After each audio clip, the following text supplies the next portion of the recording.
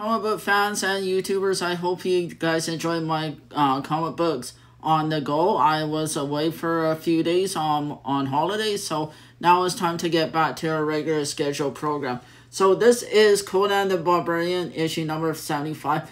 Now, I was lucky enough to find this in a dollar bin uh, find in one of the uh, comic shops that I went to when I was down in Victoria, BC. Uh, I rummaged through them. I grabbed a bunch of Archies, but plus I also grabbed a few Marvel Marvel ones that I thought um, that were in pretty decent shape, and this one was in here. So uh, the story takes place in, in way back in the uh, olden days, um, like in prehistoric um, Egyptian days, where, where Conan uh, as uh, kills uh, Hawk Rider, and now they're they want to capture him because he killed one of uh, their people, and so there's a big fight scene throughout the comic. Um, there one special uh, thing about this is that there's a cool advertise uh, Captain America advertisement in here for Hostess Twinkie Cake, so that's uh, pretty cool. And on the back, there's a cool advertisement for fishing and hunting and all of that. And this is a, a Bronze Age uh, comic for 1977. So it's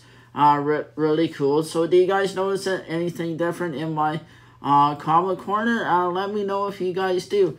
Uh, I think I got a new uh, a new uh, a, new neon sign, but you guys will have to point it out to me. So um, this is in um, so like I say, it's in not bad consi- uh, condition. I give this about a uh, 4 out of 10 or maybe even close to 5 so even uh, like a mid-grade coffee. So it, it's not newsstand it's just a, a 30 cent cover price. I'll give you guys a quick spine slide. It is uh, pretty pretty cool uh, comic. And I'll post this on my Twitter and Instagram at Joel's Comics uh, Corner. And I also have a TikTok there as well at Joel's Comics Corner where I do other uh, comics uh, that are exclusive to my TikTok. So, uh, but I do post uh, kind of the same for my YouTube uh, on my Instagram and Twitter. So um, you can also look there at for pictures and maybe some stuff that I don't always post on YouTube. But this is